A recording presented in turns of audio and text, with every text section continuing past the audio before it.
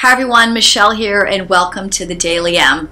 We had such a great weekend. Saturday we celebrated Beautiful Day, free yoga in honor of our former manager, Chris Cannavaro, who passed away from brain cancer in June 2015. I'd read a poem to the class at 10 a.m., which was a take from a famous poem called Man in the Glass.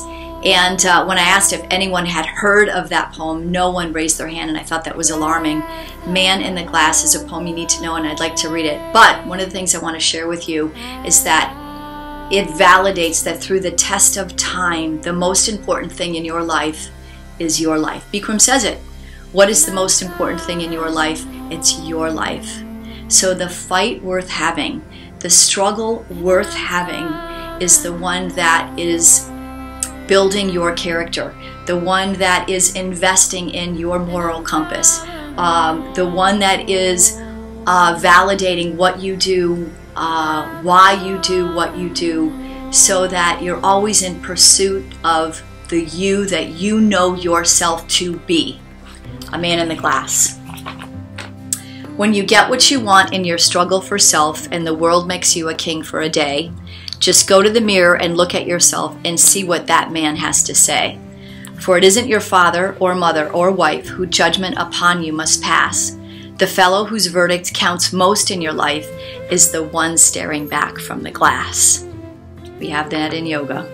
Some people may think you a straight shooting chum and call you a wonderful guy, but the man in the glass says you're only a bum if you can't look him straight in the eye.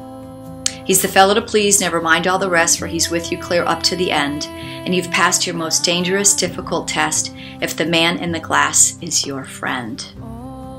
You may feel, you may fool the whole world down the pathway of years and get pats on the back as you pass, but your final reward will be heartache and tears if you've cheated the man in the glass. Boy, isn't that what we're doing in the yoga room, right? How many of us can say that we're honestly best friends with ourselves. One last thing, I kept this.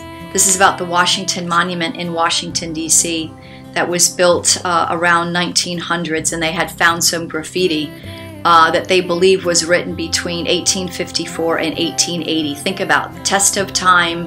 The most important thing in your life is your life, and I'll end with this. This is the graffiti statement that they found. Whoever is the human instrument under God in the conversion of one soul, erects a monument to his own memory more lofty and enduring than this.